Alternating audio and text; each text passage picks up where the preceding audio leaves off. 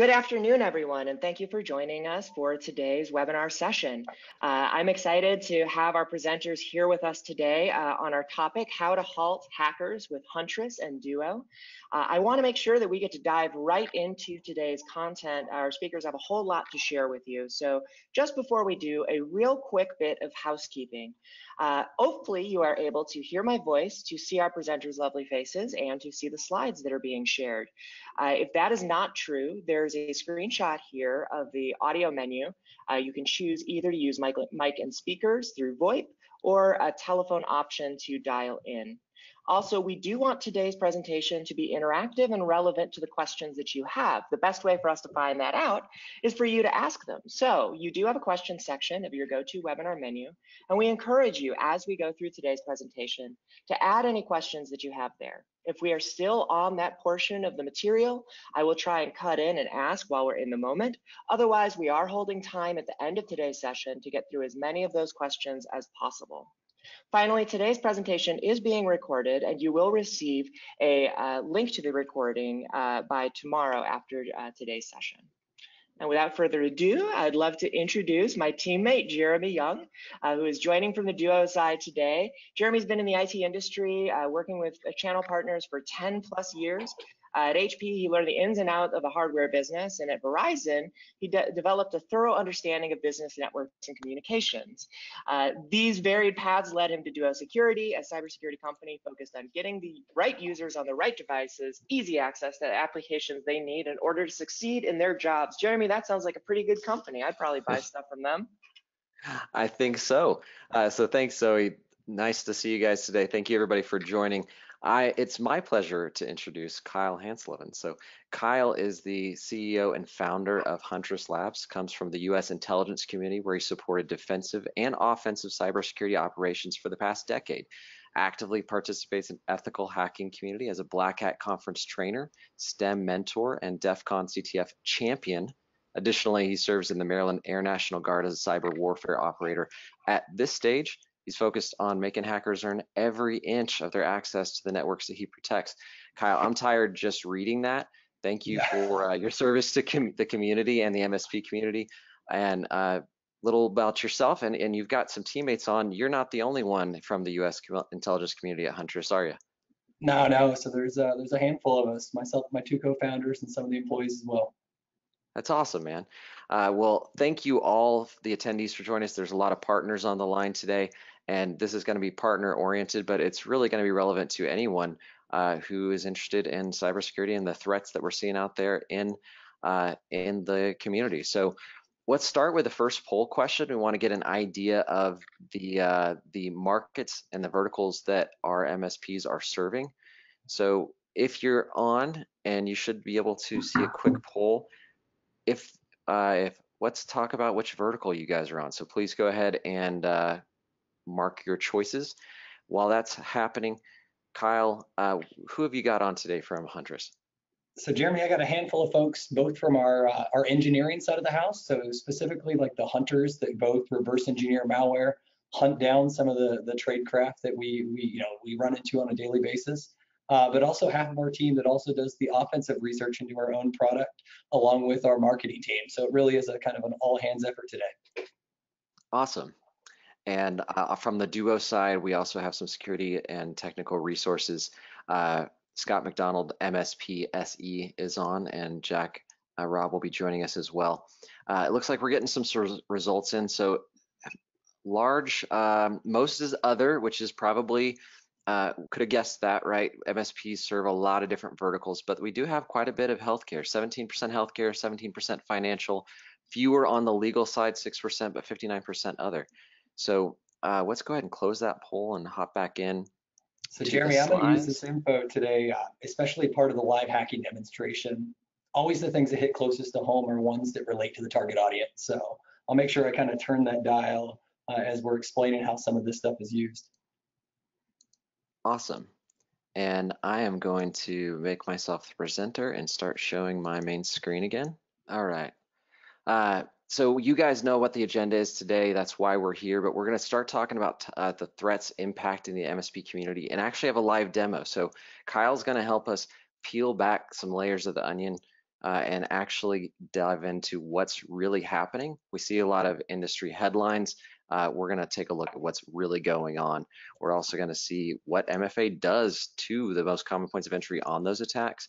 And then we're going to cover uh, a different way to look at selling cybersecurity and what the basics are that should be built into your managed services instead of maybe a bolt-on security offering. So we've seen for a while now, like the end of last year, I think October it was, Homeland Security started talking to us about and warning us that service providers are going to be a target and have been a target and trying to make uh, make everybody more aware so we could start and continue to harden our internal security and that of our customers. We started seeing uh, information coming out that really said this is true. This is happening. Early in February, ConnectWise plugin to Kaseya VSA was targeted. Uh, we then saw WePro, and uh, I know Kyle's going to talk more about that in the live demo. But a lot of this was stemming from stolen credentials and phishing attacks. That WePro attack didn't just impact them, impacted PCM, ServiceNow. Those are some of the ones that you recognize, but this, uh, the same techniques involved here are involved in a lot of other uh, attacks on MSPs that you may not know the names of. More recently, uh, while both the Huntress and Duo teams were out at DattoCon in San Diego, we saw this one come out, uh, and they were actually using Kaseya and Webroot, uh, using the software in a legitimate way for illegitimate purposes. And uh, Kyle, you've been involved in the remediation and kind of unpacking a lot of these. What we well the frequency has been turned up to 11 right what's going on yeah so it's getting a little silly right? It's uh it's flat out to the point that um it's just hard to be perfect always. I think a lot of us uh, tend to lose focus that um you know, security is important at the same time. You can only provide so much that you know meets your own customers margins right? It's, it's real easy to say just add another layer add another layer. Yeah. i think the the goal jeremy when you and i were brainstorming before this was let's do a demo let's show people why the layers that make sense should be focused not just on prevention, but also on like, you know, that ounce of prevention is a pound of cure. And if you do have to, you know, have some of the more proactive response and detection, you know, how's that right layer? So I think you're right. It's been answered. so. When you see these headlines and you see all these like red triangles, it's supposed to elicit a certain response. We're not trying to uh, get you based on fear because that leads to uh, visceral responses that can emotional responses that can say hey look that scary things are happening somebody is actually hacking that they're targeting that one company. What's really happening? Uh, it's a lot of one-to-many responses. It's a lot of like just mass phishing attacks trying to find regular credentials maybe password spraying uh, brute forcing rdp it's one-to-many things that anybody could fall victim to and they're not once they get access if you're using the right credentials, it's much harder to detect it as something nefarious.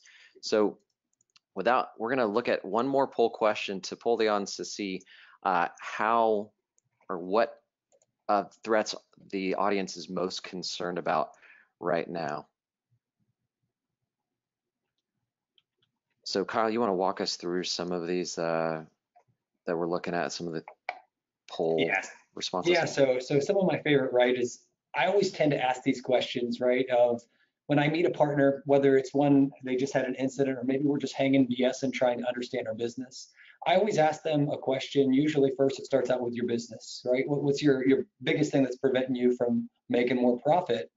Um, every now and then, you you hear some of the things that's just like organization structure, but kind of for the last 18 months, so there's been a lot of focus on how do you weaponize security? Not just for the sake of like better resiliency and making sure customers are staying up and running, but how can we make a little bit more money in the process? How can we provide better security?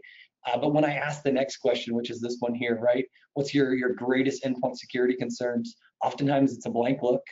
Uh, so what I've done is I've distilled you know, a, a, handful of conversations at DattoCon and probably a hundred conversations over the years that typically I get roughly four answers, which is somewhere like, oh man, I know I had these event logs or firewall logs or even other logs, but I'm not really watching them. Um, more and more because the volume has been amped up so high in regards to these RMM tools or just legitimate administration tools being abused. I think we'll probably see some bias in today's, uh, you know, poll. It's going to see that trusted admin tools is going to be high up there because it's on everybody's mind. But I think the reality is kind of all four of these. I would be just as happy to see 25% in each category rather than just one. I, I think they're all a concern, right? You know, is the reality. You, you bring up a good point, and something that you'll hear me say a lot is we need to move as an industry from bolt-on solutions to built-in solutions. And so if you have a log monitor, if you have a sim, the greatest sim engine in the world is only as good as the eyes on glass you have behind it. And so even if you have a sim engine checking out all those uh, those logs, what are you going to do when you see something and what's noise versus what's real? So a lot of coming at security from a bolt-on approach is is one way to do it, but it, there's a better way. So it looks like we have some results and uh, not quite 25% in every category, but we got 20% unmonitored event logs, 29 abused uh, trusted admin tools, 11 reused local admin passwords, and 39 ransomed files. And I think that's probably, uh, given that we just put those headlines up, that that is kind of predictable, right? Yeah, I, I, I definitely get it there. So what I'm going to do is, um, with, that being the concern, I'm going to try to also pull that into the hacking demo today because I kind of got a handful of VMs. I kind of prepared for, I knew the audience was going to have some of this. So I think the videos I select, the demonstration, and that should be a hell of a lot better, Jeremy, when you and I are talking about how do you actually turn these knobs, for instance, in security. Um, I think that this is kind of the, the best questions we could have asked and kind of got the best results. So huge thanks to everybody. And maybe one thing to reiterate is while I'm doing the hacking demo here in just a little bit, questions are, are, are you know, kind of what allow all of us here on the conversation to learn, right? The typical webinar is here's some death by PowerPoint. Neither Duo nor Huntress goes by that typical model. So, uh, Jeremy, Hey, speak for yourself, man. I love PowerPoint. Oh, okay. All righty, so let's get this, some of the fun going. I always tend to want my demonstrations to be, you know, something that we could reproduce at home. So for the sake of this uh, environment here, I've got nothing more than administrative, uh, you know, Windows 10 machine that has both a local user login and- the default administrator account. On my other machine, though, I, I've got, you know, typical Kali Linux. So for anybody who's not uh, um, kept up with this, right? For instance, if we go take a look in this, uh, you know, this is just a free system administration or pen testing framework that you could do all kinds of shenanigans from, right? In this example, I've got Kali Linux installed, but I'm going to use a handful of tools here to start. So Jeremy, when you're thinking about most, uh, you know, I think of, of incidents or breaches, we always tend to feel it's so tailored to us, or maybe it's not tailored to us. Within the SMB, I think most of our partners uh, kind of got a grasp that sometimes it's just as much about targeting a customer or targeting a partner as it is just by happenstance, right? That you know nobody plans to get attacked by a bear. You just happen to walk through the woods and you were the slowest one of the pack, so you're the one that got ate, right? Um, so my goal of this is to kind of show, right? And so anybody who's never used any of Kali Linux or any of these free penetration testing tools, um, there's some really neat tools in there. One of them is called Nmap. It's a way to be able to address, and you could give it like uh, you know, whole CIDR notation to say, hey, scan everything in this external range or internal range. But for the sake of the demonstration here, I just wanted to start with a tool that, you know, its whole goal is to try to assess everything about my remote host. Keep in mind here, my remote host that I'm talking about, my victim machine, is this lovely Windows 10 machine. And guys, I know Kyle isn't into uh, shameless self-promotion, so I'll do it for him. He, the Huntress team, does a lot of boot camps at uh, er, whatever major events you go to throughout the year. If you have the chance to sign up for one of these boot camps, you're going to get an intensive on them walking you through and showing you how to do this hands-on demonstrations of what hackers are doing trying to get into your environments.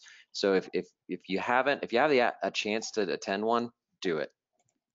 Gotcha. So I'm gonna, Jeremy, thanks for that plug there. And you know, part of hacking, right? It's it's never the uh, you know when I think of all my favorite movies, right? Swordfish hackers. You you know you always get this like instantaneous oh success, right? But the reality is, you see me here clicking away trying to just get an update. We're at 93% done with the scan. But my whole goal here is I want to learn more about what's running on my Windows uh, 10 system, right? I want to know what's what's undergoing. What what does it provide? Uh, you know, is SMB open? Let's be real. It's 2019. We shouldn't have SMB open. The next side of it is what, what about more realistic services? So I'm not going to give away too much here, but I just wanted everybody to understand uh, you know, why we're scanning this machine. And the goal is for us to start you know, interactively pivoting. And where kind of, Jeremy, I would love for you to pivot or be able to, to bring up here is, you know, why we're doing it or what we're doing. Um, and, and maybe where you see opportunity for two-factor. Uh, so what I'm going to do here is, uh, while this is scanning, I'm never a fan of just sitting there waiting. For anybody who hadn't seen our previous video, um, the reason this is hitting so close to home is in one of our previous webinars we did with Huntress, we showed all kinds of incidents where attackers were getting into MSP's networks, abusing legitimate tools, and doing nefarious things. So I'm going to do a real quick, uh, you know, recap of one of these machines. And then what we're going to do is we're going to highlight four more videos today of other incidents where two-factor could have played a, you know, a legitimate, um, you know, stopping mechanism or actually halt these hackers before hunters had to get involved and find them slipping by. And So- Kyle, how did you get these videos? So this was uh, an MSP partner of ours. Unfortunately, they came in and uh, you know they, they came to us and said, "Hey, look, um, we had our Screen Connect software, right, our remote administration software compromised. It was a standardized password or a le- leaked password or a lost password. Bottom line, the password was compromised, and there wasn't a two-factor authentication set And um, to be able to prevent the attacker from gaining control of Screen Connect. So to be clear, it wasn't the a it wasn't a breach of the software. It was somebody using an actual credential to get in to the software. Yep, you're hitting the nail on the head, right? So we see the attacker here getting into the point of sale machine, trying to figure out their way around. And I think we all know where this is going to go, right? Uh, we, we know the attacker is eventually going to figure out what's going on, but you're you hit the nail on the head. This attacker didn't throw some like zero day exploit that managed to compromise Screen Connect. They just abused the legitimate functionality, and somewhere they got a credential. Uh, and the same case happened on those other examples that we talked about in previous webinars, you alluded to earlier, right? The, the web root management console, the Kaseya incident, none of those were credentials either, which is part of what, you know, really fired you and I up to kind of show a little bit more about how are the hackers doing this? How are they brute forcing or how might they be getting passwords? So I really wanted to kick this off to get everybody on the same page, right? So here's an attacker that's actually installing, right, some backdoors, um, and the reality is when we find incidents like this at Huntress, our typical MO is you've got your awesome preventative software in place, but when somebody slips by, we're here to quickly discover, you know, these footholds, these way these attackers maintain the long-term access. But the reality is, is, you know, that's that's a little too late. And it's great to be able to quickly discover those before the situation escalates. But if you could possibly cure that, anything that you could do to help prevent a little bit more, that ounce of prevention is still once again worth that pound of cure. And we're And there, so you know. what's- As, oh, what's that, brother? So he's installing TeamViewer right now, right? So so they've so this hacker's identified that he's actually in a POS system, which might be more valuable because if I'm a hacker, what am I actually curious about? And I, I find myself in a POS system. I'm I'm not worried about spreading ransomware to other machines from that POS. I'm trying to get credit cards. Yeah, that, that's twofold, right? They're equally worried about this, uh, you know, MSP enabling two-factor, right? If, they got into Screen Connect today because they had access to the credentials. But let's be realistic, like that MSP could flip on two-factor tomorrow. They could change their passwords, obviously, after all these machines, and we saw this, the machine actually got ransomed here in this video. But the reality was they're just as worried about somebody putting on two-factor, so they put in you know, in this case, it was TeamViewer they used for a long-term persistent access. So in my demonstration, I'm going to kind of do a, uh, you know, a, a, a role-playing scenario where us as the audience can kind of play what would we do once we get some of this access. And notice they're even configuring ba real basic passwords to prevent somebody else from getting into their own TeamViewer. I mean, it was a four-character password, so let's let's be realistic. It's not uh, not that secure, but here we go. So that, that I think that was a great introduction of what you know, what the risk is. So now let's look, right? We've got our own attacker here. He's on the outside or she's on the outside. And we scanned it and we take a, take a look at the result of this. It said, hey, I tried to scan this operating system and I came up and discovered that the computer's actual name is Victim PC.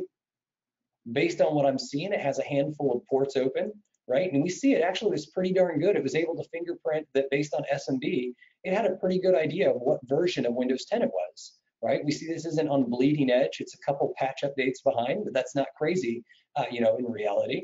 And what's funny about this is we're not going to actually attack any real vulnerabilities, more along the lines of misconfigurations that could be leveraged. So in addition that, we see good old fashioned 3389 open. And this is one of those that even if SMB open to the world is really uh, a bad security practice, right? That's a file sharing. I continue to kind of harp on like, you know, none of us should ever uh, have SMB open. Except every day I kind of run into one of these. And so, Jeremy, have you ever played on Shodan? And I'm totally okay if you haven't, but uh, Shodan's a free service that you can use online. You can log in and you can actually go in there and type in like, hey, I want to see everybody on the internet with port 445 open. And so I did that right before this example. Actually, I had my team, um, the ThreatOps team, take a look at this, and they said, ooh, uh, the number of hosts right now are almost 400,000 as of this morning. And if we go take a look at this, and some of these hosts are flat out have their actual C dollar, D dollar sign, users directory, all kinds of things shared. The reality though is if you have these type of things that are open or require authentication, I think you know where I'm going with this if somebody gets into your network to be able to see some of this data, obviously without having a password or disabling uh, or you know enforcing authentication is going to be that place where two-factor could save the day before Huntress really has to come in there. So let's take a look at what we would do, right? In this example, it was 445. So one of the free tools within Metasploit is a brute force capability called SMB login, right? And so if we take a look at my other Windows machine, and I can go ahead and, you know, I won't even log on for the sake of this demonstration. It, will just eat up some of our time. Um, I'm going to set the host and the IP of that Windows 10 machine is 86.34 here.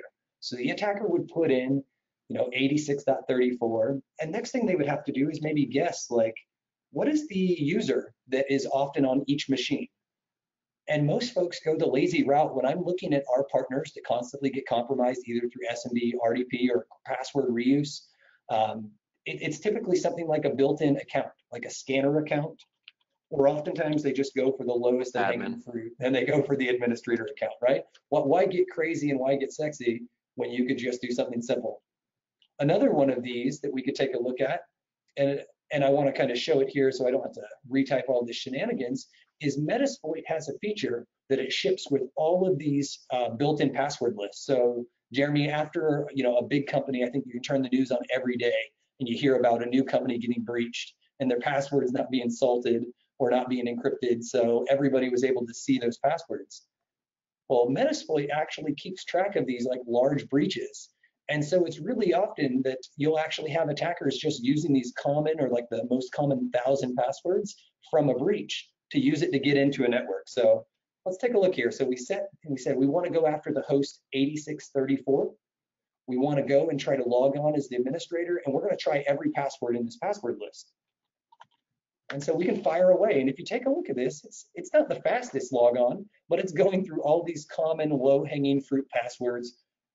And as shocked as I, I am to say it, even though these are super basic, they still to be eh, continue to be the most prevalent, right? So this is that case of passwords are weak, hence the whole premise of why a second factor is important.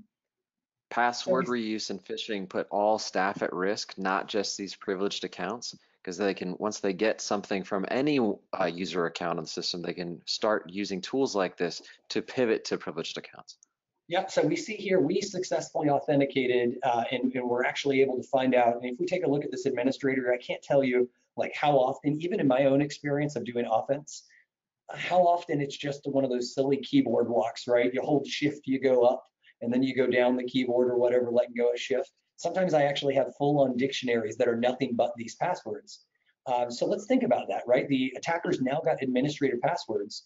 And so a lot of times attackers think just like a system administrators, like, hey, if I wanted to remotely execute a command on this computer, I want to use psexec, which is a, an awesome capability. And it turns out this uh, hacking framework has its own version of psexec. And if we take a look, I'd gone ahead and already set some of these options in advance. So I said, I want to go after host, excuse me, that says 40.86. Let's go ahead. Oh, that's uh, calling back to me. Sorry. I want to go after host 8634. I'm going to try to eh, log in through SMB over port 445. And I'm going to use administrator and that new password that I just recovered from some of the brute forcing, right? So that's uh, obviously that's them starting to weaponize some of this data. But if we take a look here, when the attacker goes to compromise this machine, they get no dice. And this gets really technical really quick on why this doesn't fail. But what happens is Windows 10 and most versions of, I guess it's technically been Vista onwards, has UAC enabled. And so what happens here is they tried to remotely put a file onto this computer and they had not actually succeeded in bypass the authentication of UAC, which is that, you know, sometimes annoying little pop-up that says, are you sure you want to be able to run this? So what happens is this attacker here in this scenario, they're low-hanging fruit, right? They're not nation state. They just realize, oh, my built-in script kiddie tools don't work. You know, I, I can't get in. And so what happens is they're left with, with nothing here. They, they wanted to execute some PowerShell, but it said, oh, I can't succeed. I don't even know why, even though I'm telling you why. It's because UAC was enabled, this failed. They can't get in. So often what happens is attackers pivot to other ways. And we actually see a lot of this, Jeremy. Um, obviously, the whole one of those is, is if uh, you know two-factor was enabled, even if they were able to successfully authenticate, it would require some type of two-factor pop-up that, that matters. So there's equivalents of these though for remote desktop. And one of these free tools is called Hydra. So if we take a look, I've already typed the command here to save us, but we're already saying, hey, as the administrator, we're going to use that same fast track capability. So say for instance, in this scenario, maybe remote desktop wasn't open at all, and all we saw was 3389. This attacker could have started this whole approach and said, I still want to use that common password list, but instead of authenticating over SMB, let me try to brute force RDP. And it's the same computer here. And if we take a look, it's going to fly, right? I'm just kind of crushing the remote desktop service with failed logon attempts right now. And if you take a look, this password list is only 222 things, but it still comes to the same conclusion here, Jeremy, which is the password succeeded, right? It was able to log on and succeed with this brute force. So and you Kyle, this tool that you're using, uh-huh. like you're a hacker. Did you write this, or now is this just publicly are, available? Yeah, publicly available, free as in you can go. I mean, here's the shameless plug for the developer. You can actually go to his GitHub, clone the, the repo and, and, and build this tool for free. I did that probably about an hour and a half before this demo started to make sure everything was working. So, you know, so this isn't something tools. that you have to have a extremely high no. level of like AppSec Intel. You, this is somebody, anybody with a lot of spare time can go figure out and that are technically inclined. So that that's why uh, this is they, have democratized hacking, if you will, and yeah, so we got to stay one commodity for sure, right? It's it's definitely you don't need to be former NSA cyber warfare operator. You could be you and I. I mean, Jeremy, my, my, my sales team goes through a class that's just like this to be able to do these, just because it really is something that we all can do. However, let's be real. MSPs, right? We don't we we kind of know this is the case, but our clients in the SMB, right? That that healthcare, that law firm, that uh, you know maybe the pet store up the road that has six computers but just needs you to take care of it and make sure everything's running so they can charge. They definitely don't understand that this is so easy. So the part of the reason I'm doing this demonstration is to really kind of weaponize and motivate our MSPs as well to be able to show these type of things rather than just tell. So, but what really hits close to home though, Jeremy, is not just seeing that brute force, like, right, we, we saw a pretty green, hey, password succeeded. But I'm a real big fan of show me, don't tell me. So let's let's make this demonstration get real, real quick. So I'm using the built-in remote desktop capability within Linux. It's called R Desktop, and if we take a look, the command is super simple. What IP, what username, one password. And this could work the same way as if you were on a domain. I'm just doing this because it's two local VMs, and it's nice and easy to show this. But let's be real here. If I'm logging in and clearly two-factor wasn't leveraged, this is where having, you know, Duo's MFA uh, or you know any sort of 2FA at that point logged in and set up within Active Directory, right? Duo would have saved the bacon here, even though there was a weak password policy, even though there wasn't a uh, account lockout policy, because right, think about that. We just went and tried 212 passwords in a row, and that user didn't get logged out, uh, locked out. Yeah, shouldn't have been possible. Yeah, but I mean, Windows 10 ships without auditing on logins. It ships without the complex uh, password policy and it ships without lockout periods. So this is often representative of, or it represents a case where, oh crap, my laptop stopped working, go to Best Buy and buy one real quick. And then, you know, it got added to the domain, but for whatever reason, group policies didn't update, or maybe it never got added back on the domain. Like this is reality. Perfect security and doesn't happen. And so How we see this on our side is people swiping a credit card and without talking to anybody at Duo, they are now using, they're protecting RDP instantly and they're pushing out via GPO RDP to protect every client and server on the domain because this happened to them and now they're like having that oh no moment and the first thing they do swipe a credit card start protecting RDP with Duo and then they make a common mistake of thinking okay cool we're done Yeah, and, that, that's 110% like see it every day. I mean, may, maybe to, to reiterate, right? This was all about halting hackers, uh, right? With Huntress and Duo. I can show the the Huntress approach, and I'm telling you, it's it's not the greatest of of things when you can actually put something like two-factor in place to be able to minimize this. So here's a good example of one of our reports. It's been redacted, so we don't you know shame anybody here. But That's let's be why- real. Oh, sorry. While you're pulling that up, uh, Kyle, we did get a related question in. Uh, somebody was asking in that demo that you were just sharing, is that a setup machine or one chosen from the open 3389 list?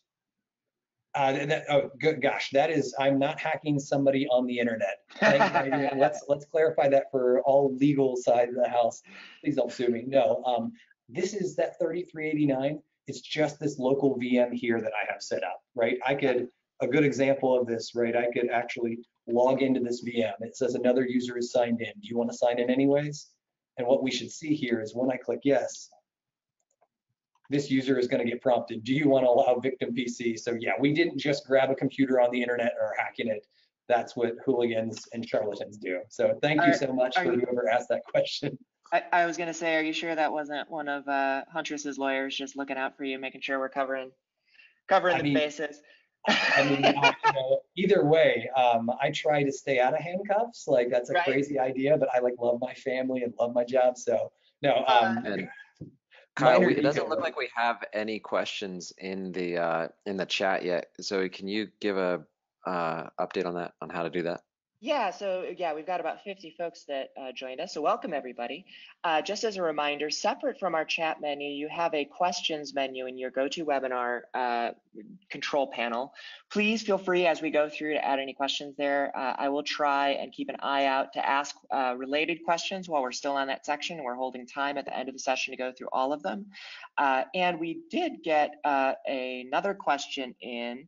Um, for the uh, demo that you were just doing, Kyle, does that attack only work if uh, the connection is from uh, a local network or an external network? Would having a VPN uh, intermediate connection set, would that make a difference here? Yeah, it, um, the attack will work if you expose it. For instance, 3389 was exposed to the internet, but if you put it behind, for instance, a VPN, that would require the attacker to first maybe like, um, and this is part of like lateral access. In one of my videos, I'm actually going to show uh, later.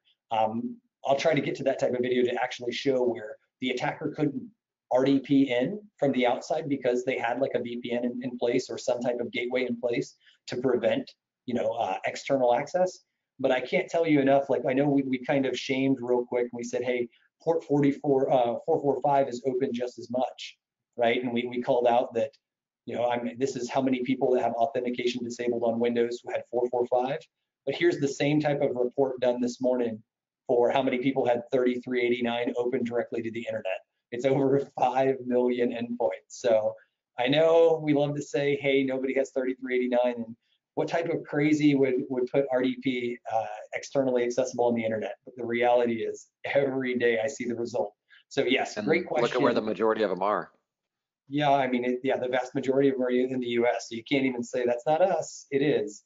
Um, and Jeremy, one of the things that I, I was just setting up here while we were kind of uh, doing some of the housekeeping is that question of, okay, incident happens, we've got this thing going, what in the world should, you know, is a hacker going to do next? And Huntress typically finds these incidents because they were successful in brute forcing in, and the hacker then creates a foothold. That's our specialty is finding out where people maintain that long-term access. So notice here, the hackers created what they call a backdoor using a feature built into Windows. I want to show how this feature works real quick because this type of feature, if you don't have two-factor from the get-go, these hackers come prepared and they, they're worried that you might turn two-factor on and might, you know, or the password might change. So I want to show you what they're doing and what a really common technique is to do here.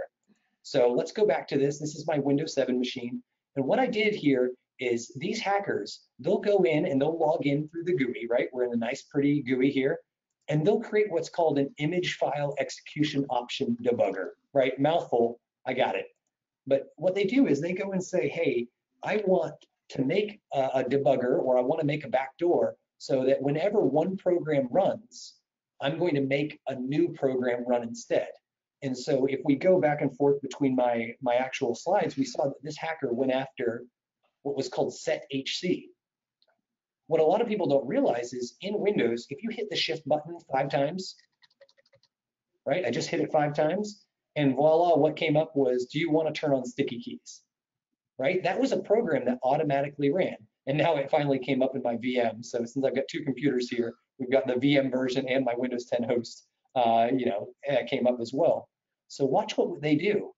They create a new registry value and this is going to allow them to maintain a backdoor. And we're going to see how this type of, you know, they're preparing for you to change your password or they're preparing for you to enable two factor and they're worried about it. So this will be called debugger.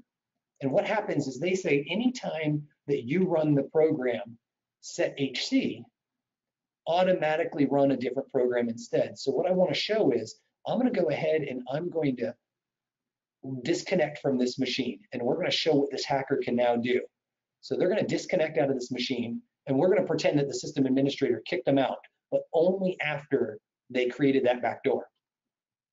So they're going to try remote desktoping right back into that system. And maybe they don't have the password this go around, right? And obviously in this scenario, I gave the password, so that's going to succeed. But let's go ahead and uh, get this up and working the right way. Trying to remote desktop in, and we see here as we're, we're logging in, we have administrator, but we don't have the password, right? We can pretend that, you know, they, they just changed it, right? They're, they're foiled, incorrect user and password. Now watch this, and you, you probably can hear me with this mic. I'm gonna hit the shift key five times again. And you're gonna see that instead of actually the, this, uh, the sticky keys coming up, we got a command prompt that came up instead. And so watch what they can do. They type in who am I, they're running a system because what happens is that debugger or that backdoor automatically runs as session zero, which is the login session here. And now they don't even have credentials. So from wow. the get-go, two-factor could have stopped this from getting in. And I think we realized real quick, like, all right, this is this is scary. So uh, Zoe, I'm going to use this as the, the cue. Can you hit me up with the poll question, which is the, all right, we got access into this remote desktop machine because we brute forced through RDP because it was low hanging fruit and got in. Can you yeah. do this poll for me and ask them what should our audience do or what should yeah, we do on behalf of our audience? Absolutely. And Kyle, go, go ahead, ahead, Zoe, sorry. Uh, I was going to say we got a few more uh, questions in that maybe we can do a little lightning round. Uh, Kyle, did you have to disable any options on your victim Windows 10 machine uh, in order to do the uh, brute force uh, password to try that many passwords in quick succession without being locked out? No, so this is a, a window. This is assuming that the GPO is set or the group policy is set that way, and Windows okay. 10 ships natively this way. With that said, any security baseline analyzer, any GPO auditing tool would right away tell you, you should not do this, right? This is not a good idea. And I believe Microsoft is, is kind of stuck in a situation that, think about that, if they shipped a brand new laptop and they put a complex password policy and they put a, uh, you know, a, a, an actual lockout period, imagine if the user who doesn't have system administrators, just a home user bought a laptop and then they lock themselves out and they couldn't get in and then they're, they're without the password there and then they have to go through the password reset. So microsoft really is in a place just like as msps sometimes we have to do things because it's for convenience of the end user. Microsoft's really stuck in a rock and a hard spot here too. However in a business setting like this is a low hanging fruit. So um, i know the audience sometimes it's, it's always shady when you see this firsthand but every single day windows 10 windows uh, server 2016 2019, we see the result of this every day. So this isn't one of those like blown up, like we're just hyping here. This is real. And it might not be real in your network because you're actually doing good security baseline, but it only takes one new computer being added into that client that you didn't have your GPOs configured. So that's one of those things we'll get into a little bit later.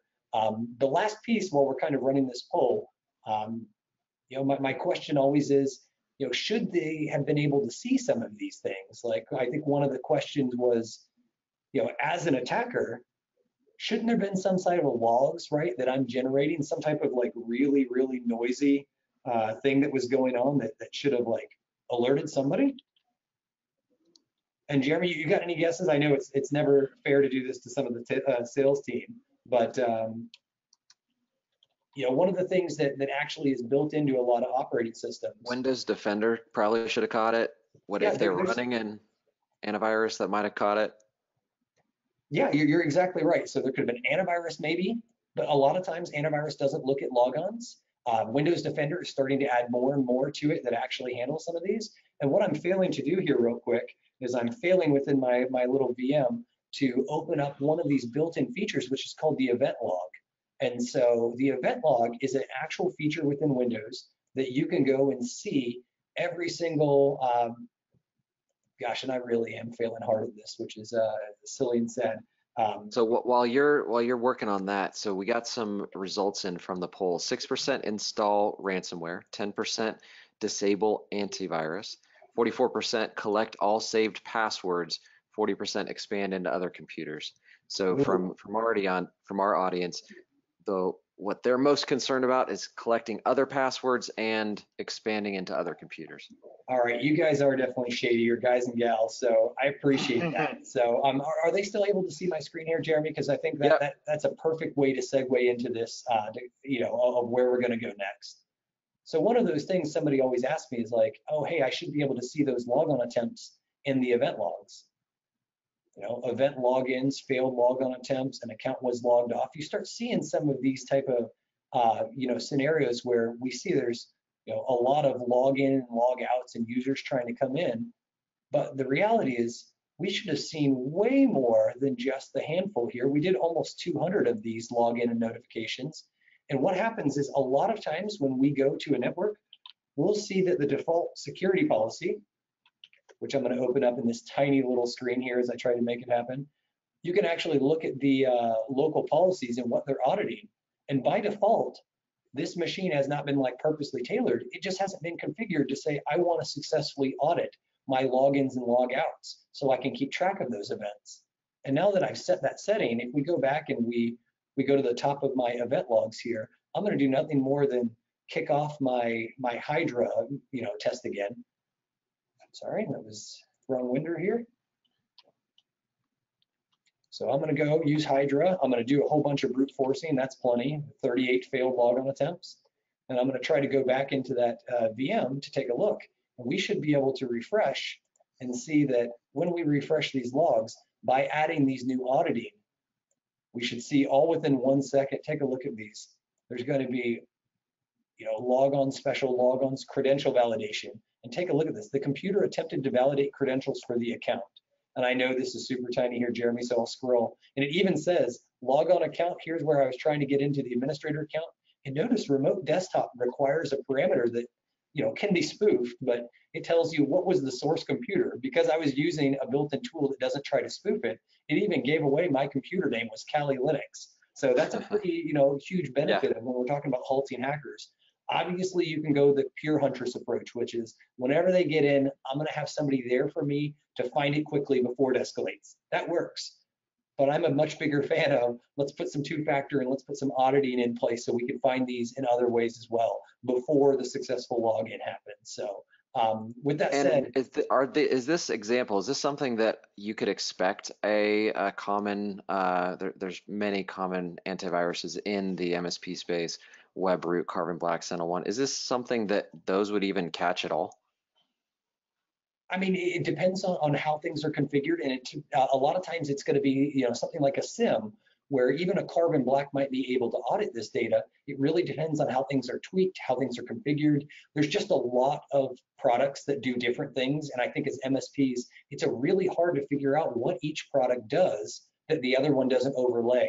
So yes, there's definitely some products out there that get really expensive quick that will focus on like brute force attempts and logons to help you. Um, there's one within And the channel. I these think footholds are what Huntress uh, it really identifies kind of your bread and butter, right? Yeah, and that's our bread and butter, right? So there's so many other things like antivirus that looks at what is the behavior happening, right? Heuristics, that stuff like your your Bitdefenders, your Webroots, your SentinelOnes. And Huntress we've took got a a, different approach, which Yeah. is we want to look for any way, since my job was long-term persistent access at NSA, our, our whole, whole thing is how do we find other shady folks that are also trying to maintain long-term persistent access? and we've got about 15 minutes left. I know you had some other videos you wanted to show. I do. So a lot of people said, hey, what's going on and what type of videos might be shown, right? With ransomware was, I think, the fewest, right? So only a few of us were going to go down the route of installing ransomware first thing. So for those few of us, let's take a look. And this is once again, this is an attacker who got in and we see that they had already got into ScreenConnect. And the first thing they did is after the ransomware got caught, they said, hey, please Malwarebytes, can you restore my uh, quarantined items? So here's them restoring the ransomware installer. And of course, they're choosing, yes, please re- restore. So what's funny here is this is a good defense in depth strategy. So you know, theoretically, that file was supposed to be copied back. And you'll notice here in the in, in the video, they even went and said, oh, I need to copy it. They're, they want to make double sure that this uh, start 1488, which is the ransomware. And notice they tried to copy it back and it's telling them access is denied. So this is that hacker once again that's really salty. He's like, no, dang it, I just want to be able to install my ransomware.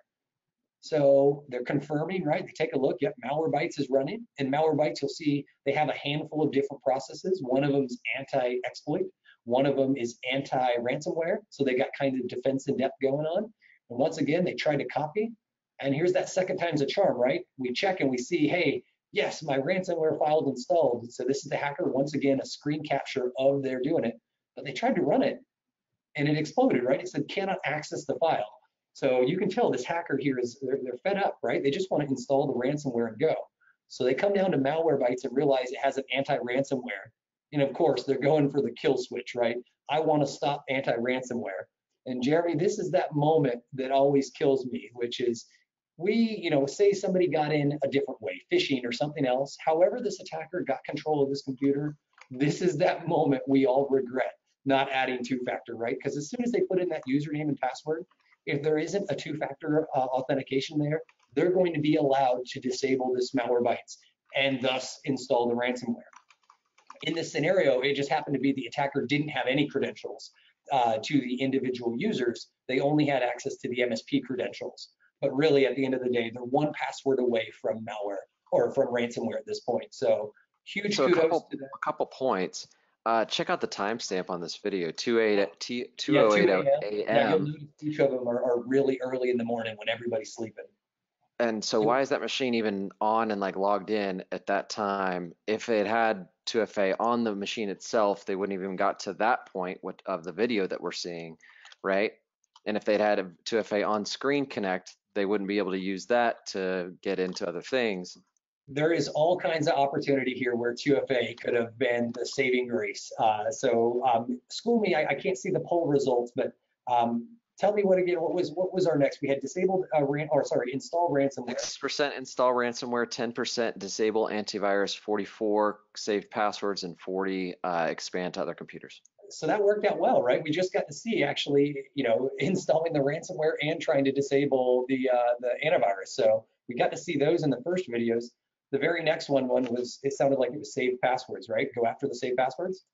44%, that's the top saved Oh, passwords. Oh, we're not we're not going to give that one away then. We, we- was the next one? Uh, 40% expand? expand into other computers. all right, you creeps. I figured you wanted to. use that as. So here we go. We've got once again they. This is a machine they get into, and notice this machine has a saved remote desktop credentials. Right, so that's one of those shortcuts that are remote desktops into another machine. So they're already in the network using stuff like these shortcuts. And this once again is the moment where we wish if they got in, however they got in, where we wish they had two-factor. And you know, just like the last scenario, they're having full control of the screen, so two-factor would have stopped them from here. But if they didn't have control of ScreenConnect, this would have been more than enough for them to be able to get their job done. And if you notice here, right away, they first start trying to install ransomware, and they succeed at installing ransomware on the host. And now this is back after they install that ransomware on the host. This is back within that new Server 2016 server uh, that they remote desktop into. And notice the first thing they go for is QuickBooks files. And you know where this goes. Obviously, I cut some of these videos were minutes long. But this thing eventually became the same scenario, which was copy the ransomware installer into this QuickBooks folder and encrypt all of the, you know, payroll, all of the finances, everything that went in here. So I know that. And you say short. minutes long, like it was a long time, but we, when I some the main takeaway or one of the main takeaways from the last time I saw your uh, blog post with the Huntress team, and you were looking at many of these videos, it was the same timestamp to the minute. A lot of these things happen in like under a minute, and multiple machines are now ransomwared in one, two, three minutes. These guys, once they get in, they're practiced. They know what they're doing. Yeah, the other season, right? And this started, if you take a look once again at the timestamp there in that bottom right-hand corner, I know it's, uh, we'll play it again. It's 1:18 a.m. And you see that they go in there like with speed. As soon as they remote in, the first thing they caught, caught their eye was this remote desktop. And they wanted to check to see, does it work, right? And it, not only did the RDP file have the saved credentials, but once again, that's that, oh gosh, I wish I had two-factor moment. So I think that hits close to home. And I, I see we're, we're dwindling on time. So let's, uh, satisfy everybody's needs with or needs with a home run, which is that saved passwords demonstration. So once again, here's the same scenario. They remote desktop into this machine, or excuse me, they have control of this machine, and they've copied ransomware onto the desktop. So here we go. They've installed the ransomware. The first thing they do after they, they run the exe file for ransomware is, yep, make sure ransomware is running.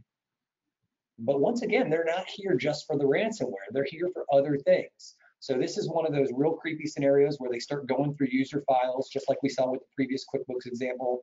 Notice here, this has a personal drive. And take a look at that birth certificates is something they actually highlight over.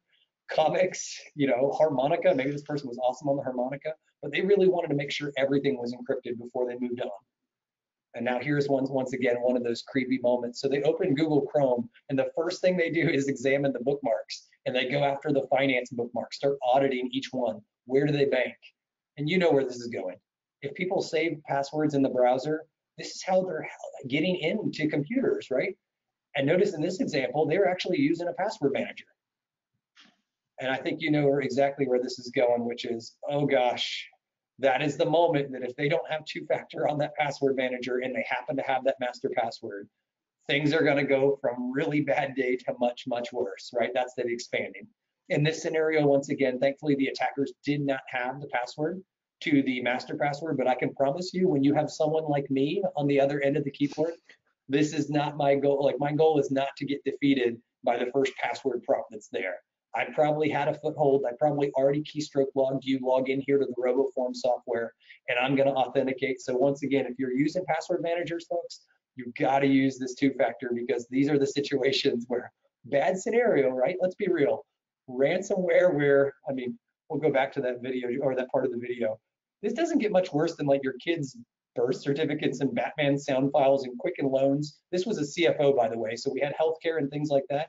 By the way, uh, you know, and that's bad enough when you have your customers, you know, data actually being ransomed up. But like, let's be real, this is a bad scenario. This is a much worse scenario is if they get into here because it's just going to keep compounding and they're going to spread. So, Jeremy, I think that kind of ends my uh, my my demo. I know we went a little bit long, but um, let's pass some presentation back over to kind of end this thing and talk a little bit about. I think we've really hit close to home on why two-factor is a great way to halt hackers. So you don't need to have the scenarios like mine. And thanks, Kyle. And Zoe, are there any questions from that segment that we should uh, address while the topic is hot? Yeah, so um, uh, one question here, does Huntress monitor event log as well as part of breach detection? That is not part of our stack. It's one of those things that we we focus on persistence. It'll be one of those things that, you know, it's it's not a, a an if, it's a when. But right now we're laser focused on footholds. And the reason for that is 80% of our trials we find attackers in just based on the footholds. So we're definitely not an end all be all, ditch your antivirus, ditch everything else. It is about layers. But once again, you know, I, I think somebody in the, the channel that specializes in these event logs is um, you know, probably a combination of, I think Perch Security might look at some of these. I think another one that's worth calling out is uh, Vigilant. I know for a fact they monitor event logs and they're channel friendly for MSPs. So this isn't uh, you need to only run Huntress type of pitch. That's never our pitch. Yeah. It's always a layered Uh, approach. And uh, we had a duo partner that joined uh, the call a little ways in and asked uh, where where Huntress intervenes. They saw, you know, the the demo, uh, but not uh, where where Huntress comes in to help with that uh, breach detection or remediation. Gotcha. So in the example, and I know I'm not screen sharing anymore, but if anybody goes back and watches it, after that attacker succeeds in brute forcing, we're focused on detection and response. So quickly discovering an incident before it escalates. So when that hacker remote desktop's in, we would not see the successful remote desktop in because that's not something that we're looking at. But what we see is in like 90%, 92%, depending on the month, we see the vast majority is what I'm getting at of attackers that the very next step is let me deliver an effect, let me maintain that long-term access because that's the economics of an attack. They want to maintain the very first video we kicked off was them installing TeamViewer or them installing that uh, IFEO debugger, that backdoor. So as soon as any of those persistence mechanisms or those footholds that attackers would use to maintain in there, that's when you're going to get a step-by-step -step notification of this is your incident, this is exactly what you need to do to remediate it. This is the computer it's on, all in a non-technical level. Um, so that, that's where Huntress comes into play. And that's whether it's, you know, antivirus or malware, uh, you know, backdoors, living off the land. It can sometimes even be ransomware. Sometimes we, we just find the notification where ransomware created a pop-up every time a user logged in that said, send me the Bitcoin. Yep. Uh, and then a nice segue into our uh, Duo conversation, we got a couple of Duo questions. So uh, does Duo work with normal logins? Uh, I'm assuming normal is local logins with Active Directory or only for RDP? Um, I know that one we, we can answer. You can do local or uh, remote or both. Um, difficulty with multi-factor is many users want the MSP to fix their profile specific issue by logging on as the user and often they are unavailable to provide the two-factor code you're hitting a nail on the head uh, 110%. That is a real problem of, of two-factor, for instance, where convenience uh, can come into play. Jeremy, how do your partners handle some of this stuff? Because if a user is logged in, and for instance, if the MSP has to be impersonating that user to get the job done, is, is there a, a way? I mean, I wouldn't so, know that answer. Yeah, so one of the benefits of the MSP program uh, is in order to use Duo, you have to be a user in the specific sub account for that you're protecting. So if you're protecting RDP, the MSP admin, in addition to just the actual uh, end user, needs to be in that account. And if you have duplicate admins as users in each Duo account, we remove those uh, systematically so that you don't have to pay for duplicate users and you can exist in every account. So you can actually use your own RDP account or you can use your own username to log in at to that uh, client device and use your own two-factor. So it, it does add a um, extra layer so on both the uh, user, you don't have to log in as them, you can log in as your own uh, username when getting access to that device uh, based, and that depends on how you have this whole thing set up, but we care for that in uh, a number of ways. Uh, and finally, uh, does Duo protect access to RoboForm? Uh, Robo, we, we protect access to a lot of different um, password managers. I'm not sure off the top of my head if RoboForm, what version or what uh, methods of two-factor that they have as native in their console. Uh, so we'd have to double check into that. But and it, it looks I'm, like it supports SAML, so I'm guessing we can do our, our SAML integration there, but we can double check too. Yeah. But most uh, most password managers have multi forms of uh, two factor. And if they have an OTP, which I'm sure they do, you could protect that underneath using Duo Mobile. It might not be a uh, from your Duo console protection that supports push, but you could still have it under one MFA app. Right. So we we looked at some of these the uh, Google put out some research recently talking about how uh, effective MFA is. Don't want to beat a dead horse here, but yeah, it is very effective against many different various common points of entry. And if it's better to have it before than after, because as you saw, there's long-term uh, ways that they can get around it once there are once you've already been compromised. So I think we are uh, in a place where we've got to start making some of the stuff mandatory. And so some of the future headlines that we're going to see in the MSP industry is what other industries have already done. Two-factor mandatory, two-factor mandatory, Apple making it mandatory for their developers. Webroot, as a result of some of the videos, the uh, breaches we just looked at, and some of the ones that were uh, Webroot, they're using a uh, Webroot was actually used to make PowerShell commands from the Webroot product in a legitimate way because they had the right credentials. They now made 2, 2FA mandatory for their software. We're going to see more and more of this. So really, we get, and Kyle does a really great job of delineating between technical questions, technical issues, and sales issues. And one of the ones that we see a lot and we get a lot is MSPs ask us, hey, I'm having trouble selling my security stack. And one of my first questions is like, well, have you made Duo mandatory for all of your internal applications?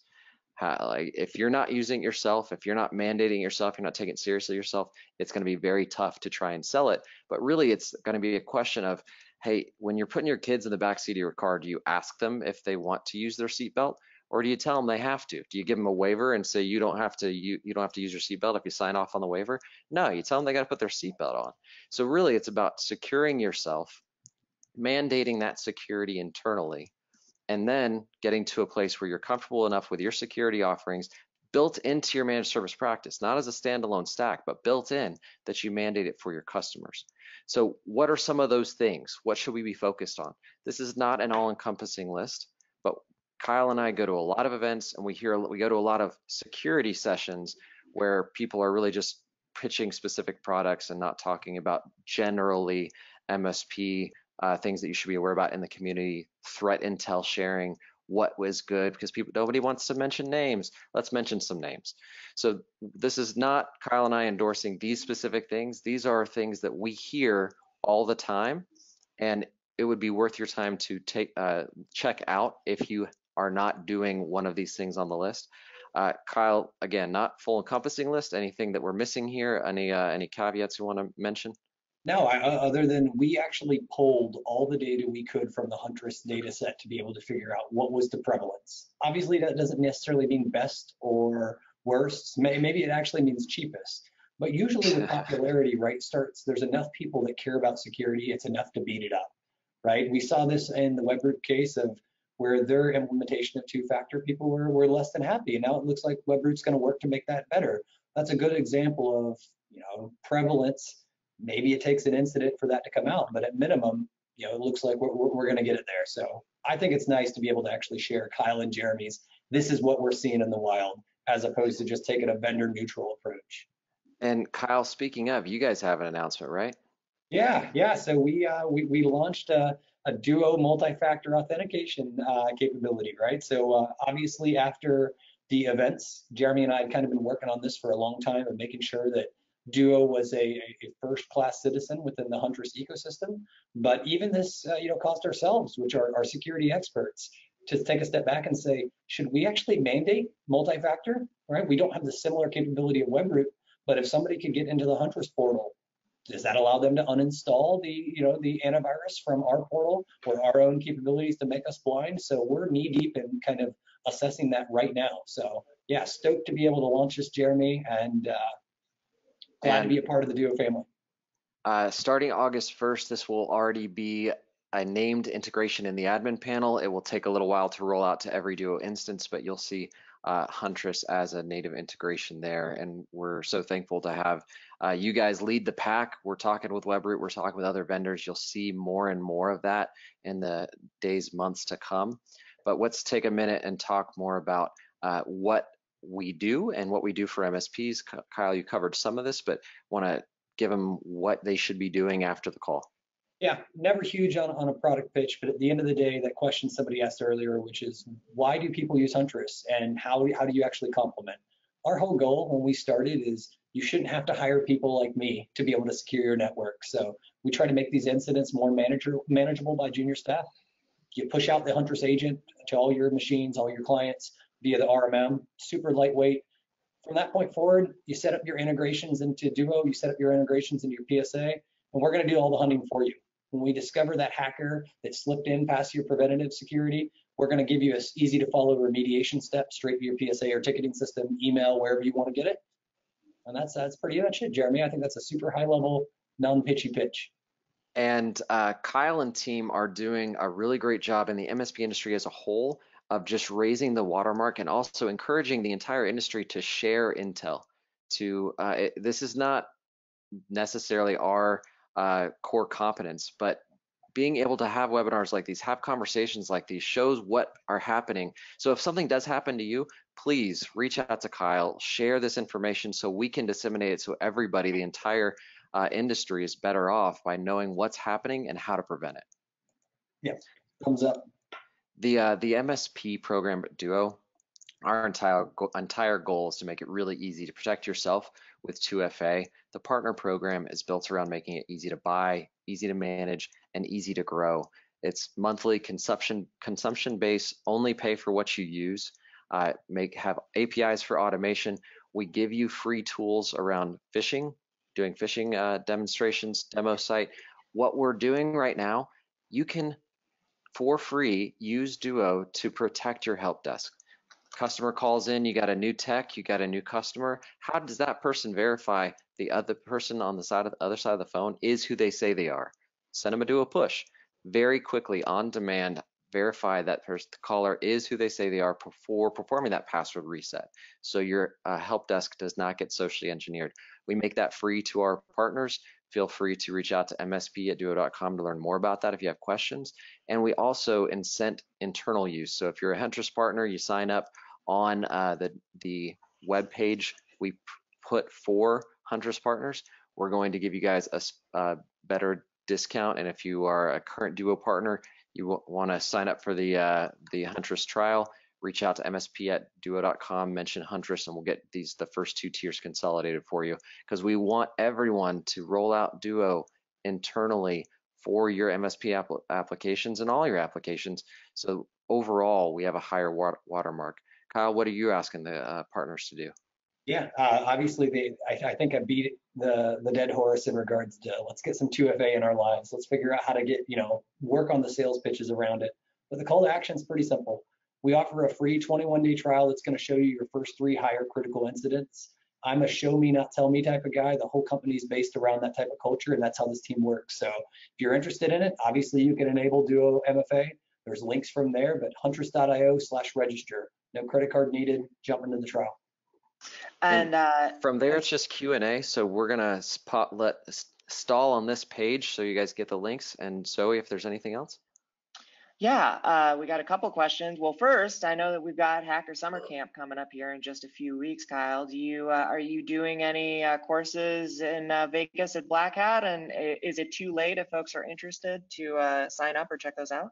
So we do the expensive courses at Black Hat every year. We've been teaching fuzzing for vulnerabilities for about uh, almost 10 years. And this is the very first year that uh, we, we, decided that uh, we're going to put more focus on MSP events. So the team will be out at DEF CON and Black Hat. We're just not uh, not doing the, the classes this year. Cool. Uh, let's see. Uh, uh, to our earlier question about uh, how an MSP would handle having to log in as a user, uh, they had a follow-up question asking, does that log you on as that end user? As a follow-on to our earlier question about if a uh, customer needs you to log in to make a change specific to their profile, uh, but has 2FA enabled. Did we lose Jeremy? I, I, I don't see his image up here. I, can you hear me, guys? Oh, I can yeah. hear you now, brother. Sorry, I had to go get plugged in. Um, I, the question was that does that log you in as that end user? Uh, when you are using your own user, no, it does not. If you want to log in as that end user and that end user recalls for 2FA, you're going to actually uh, have them be, you'll need to be like on the phone with them so they can uh, do their two factor for their user because it's Duo is specific to the user ID.